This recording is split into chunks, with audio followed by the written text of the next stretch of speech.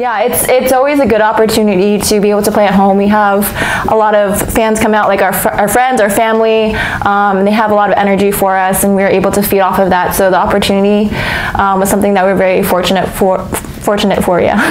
Emerson is just a really, really strong team. They're well coached. Um, and they, they really do a great job of um, on their defensive end trying to take away things that um, that you really want to go to and really try to bother you and disrupt you.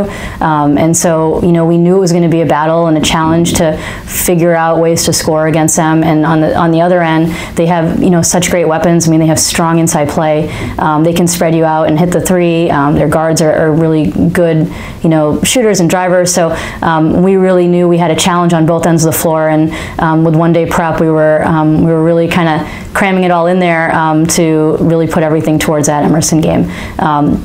Um, I'm proud of our team for how they responded. I think that they um, did a really good job of executing the game plan.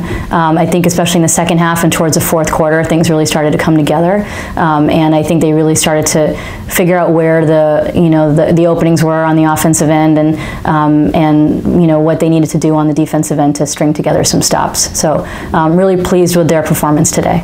Yeah, so I think that in general we wanted to approach it and have really strong starts, and that was something that we emphasized in practice, just coming out with a lot of energy, and I think that that was something that we did well.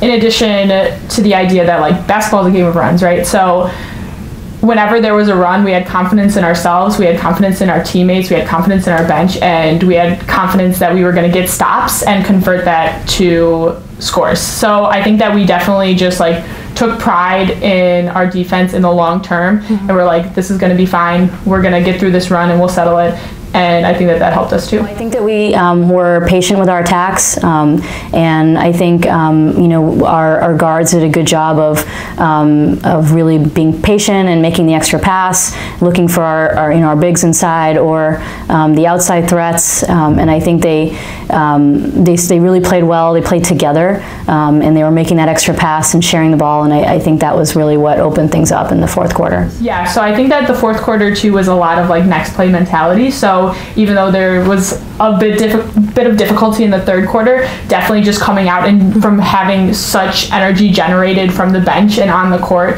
and just really celebrating everything that went well and working as a unit, I think that that really helped us. Mm-hmm. We're, we're really excited. Yes, it'll be much fun. Yeah. Um, of course, it's gonna be an away game, but I think that like we're we're like on to the next one, one game at a time, um, yes. and we're ready to get at it. So let's do it. Strong start. Mm-hmm. Yep.